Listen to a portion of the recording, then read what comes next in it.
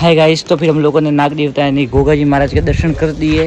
अभी हम लोग इस गाड़ी के अंदर बैठ के मोंगल माता जी की तरफ़ वगैरह जाएँगे। अभी प्लान बनाए मोंगल माता, निशानल माता जाने का।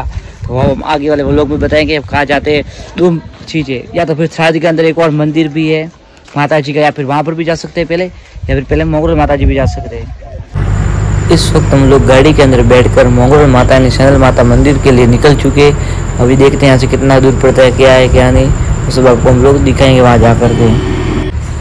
ये जो ड्राइवर हमारी गाड़ी चला रहे सौ सौ हंड्रेड हंड्रेड अस्सी अस्सी की स्पीड से, इनका नाम है प्रभु पूरी जी महाराज। ये बापसी है, पूरी जाति के सामी है।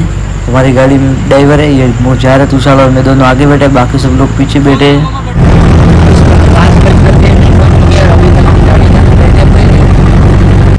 इस गाड़ी में हॉर्न देने के तार यहाँ पर टच किया जाता है, जाकर के हॉर्न बजता है, बाकी बटन वगैरह नहीं हॉर्न का। तो बाकी बादल वगैरह आप देख सकते हो, सड़क के बीचों बीच चल रहे आसपास पेड़ पौधे जो आप लोग देख रहे होंगे। हमारे चैनल के माध्यम से रास्ते वगैरह, और देखो स्कूल के भी स्टूडेंट जा रहे हैं कभी छुट्टी का टाइम हो चुका है तो सब लोग बीच में आ रहे गाड़ी को थोड़ा संभाल कर चलाना पड़ता है, वो छोटा बच्चा बीच में ना आ जाए इसलिए। हाय गाइस आखिरकार हम लोग मोगरल माता जी, शनल माता मंदिर पहुँच चुके हैं। अभी आपको अंदर से दर्शन वगैरह करवाएँगे। अभी हम लोग यहाँ से प्रसाद वगैरह सब लेंगे। अभी जो टाइम है वो पाँच बज करके बाईस मिनट हुआ है। और ये पीछे माता जी का भव्य मंदिर बना हुआ है, जो आप देख सकते हो किस प्रकार है गेट वगैरह। माता जी के मंदिर का।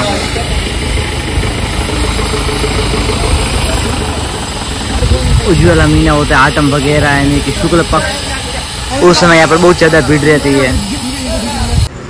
हम जब भी आते तो इसी दुकान से प्रसाद वगैरह खरीदते, फिक्स से कभी हमारी जनजाति के लिए ऐसा कुछ नहीं रही हमारे खास मित्र आदमी बन चुके हैं यहीं से खरीदते जब भी और ये पास में जो दुकान वगैरह जिसका मार्केट आप देख सकते हो अभी हम लोग मंदिर के अंदर जा रहे हैं तो आप मंदिर का गेट वगैरह सब देख सकते हो किस प्रकार है व्यू वगैरह।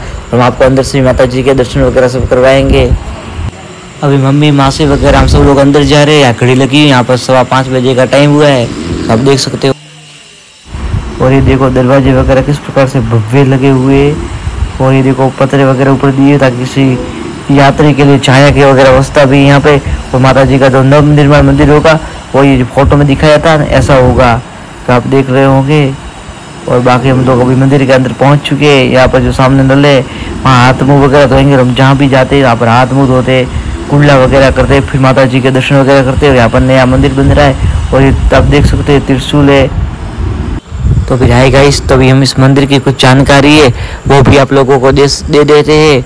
लगभग आज से 700 साल पहले कठियावाड़ नाम का एक कोई गाँव था, वहाँ पर वेदा नाम का कोई चारण रहता था।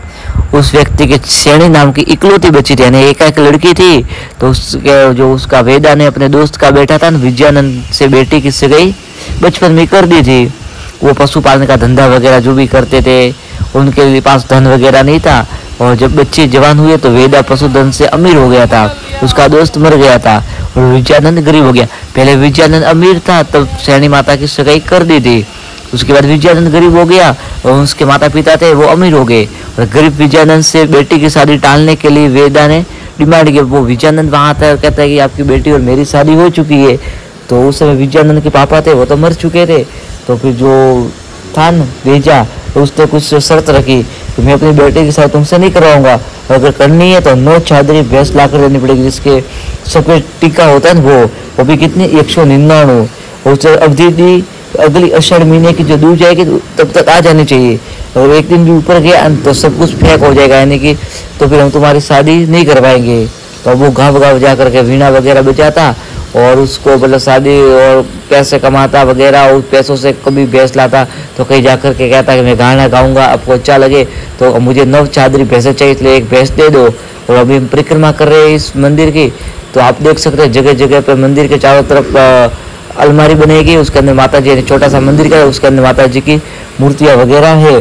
तो विंध्याचल गाँव जा कर के गाजा बजा बजाता, कहानी सुनाता, ऐसा करते करते जो अवधि थी वो खराब हो गई, यानी कि टूट गई, तारे ऊपर चली गई। तो फिर सैनल माता ने हिमालय पर जाकर हाड़ डालने स्टार्ट किए। लेकिन उससे पहले उन्होंने मोहरोल जो आज ये गाँव मौजूद है ना यहाँ पर आए और दातुन किया। और दातुन किया तो यहाँ पर एक जाबुन का पेड़ उगा, जो आज भी यहाँ मौजूद है। हम आपको बताएँगे वो पेड़। तो ये जो सामने दिखा जाए जाबुन का पेड़ है। और फिर जो माता जी ने हिमालय जाकर के हाड़ डाले, तब यहाँ पे मतलब माता जी मर गए थे मतलब सती हुए तो यहाँ पर मतलब मूर्ति प्रकट हुई देखो, आपने देखी होगी जो मूर्ति अंदर से निकली हुई थी और ये माता जी की मेन मूर्ति है, जो आप देख सकते हो किस प्रकार से अच्छी लग रही है। तो फिर विजयानंद आने में देर होगी, काफ़ी देर होगी। माता जी तो फिर हिमालय पर हाथ डालने के लिए चले मोंगरो लाया तो वहाँ पर माता जी ने दातन किया तो फिर वहाँ पर झाबुन का पेड़ उगा और फिर माता जी प्रसन्न हुए। और फिर विजयानंद भी पीछे पीछे जाता है, लेकिन उससे माता जी कहते हैं, मैं वापस नहीं आऊँगी, तुम कुछ भी कर लो। लेकिन फिर विजयानंद वहाँ पर उनके पीछे सता हो जाता है सती हो जाता, वो भी वहाँ पर के जा कर के अपने प्राण दे देता है। और इस प्रकार से विजयानंद की भी पूजा होने लगी और माता जी की भी पूजा होने लगी। और ये नया मंदिर है, जो बन करके तैयार हो रहा है और धीरे धीरे करता भव्य बनेगा। और आपने वो पेड़ भी देखा जहाँ पर माता जी प्रसन्न हुए थे, यहाँ पर दातन किया था तो मोंगरोल के अंदर बैठ करके जो आपने देखा, वहाँ माता जी आज भी तस्वीर लगी है, वो पेड़ आज भी फटा हुआ है, जो आपने देखा होगा। माता जी की मैन मूर्तियाँ थी, जो भी आपने देखी, एक सिंदूरी कलर की थी, वो मतलब पुरानी मूर्ति थी और जो नई थी, वो आपने देखी होगी।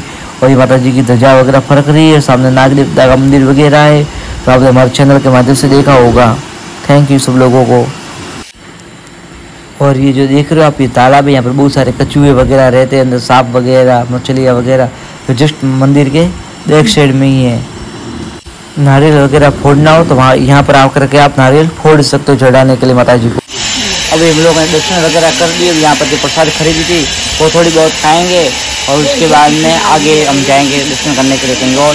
किस जगह पर जाएगा वो जगह हम बाद में आपको बता देंगे, कहाँ पर हम लोग जा रहे हैं। मैं और तुषार यहाँ पानी पीने हैं, यहाँ पर फ्रिज लिखा हुआ है, इसलिए हम लोग यहाँ पर पानी पियेंगे वगैरह।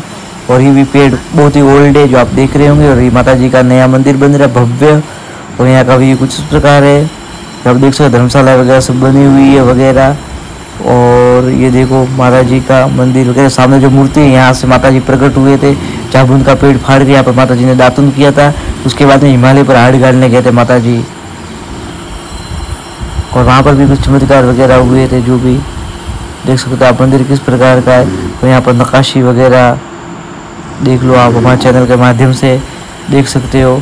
आप लोग यहाँ से हम तो आपको बता सकते हैं अभी देखो माता जी का मंदिर का गेट वगैरह यहाँ से चप्पल पहनेंगे अभी फ़िलहाल गेट से बाहर निकलेंगे और माता जी का लगभग मंदिर इसी प्रकार से भव्य बनेगा, जो फ़ोटो में दर्शाया गया है, जो आप देख ही रहे होंगे।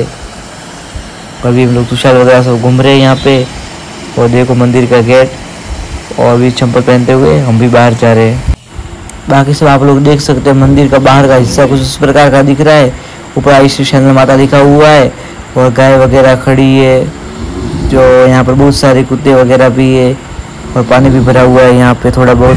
हाई गाइस तो पौने छः बजे का टाइम हुआ है और हम लोग यहाँ दर्शन वगैरह कर दिए और हम लोग यहाँ से करते हैं चेकआउट इन भी एक हमने अपना यूट्यूब चैनल था, वो सब्सक्राइब करवा दिया। प्रसाद की इनकी दुकान है यहाँ पे और आप लोग देख सकते हो।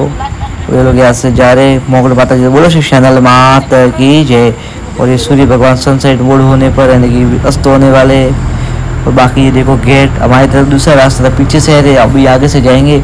और ये मोगल माता जी का अंदर एंटर करते नहीं मेन गेट है यहाँ पे। और ये जो सामने दिखाई दे रहा है, ये भारतमाला रोड है, हम उसके ऊपर तो चढ़ेंगे नहीं, इसके नीचे से होकर के निकलेंगे, नीचे नीचे चलेंगे।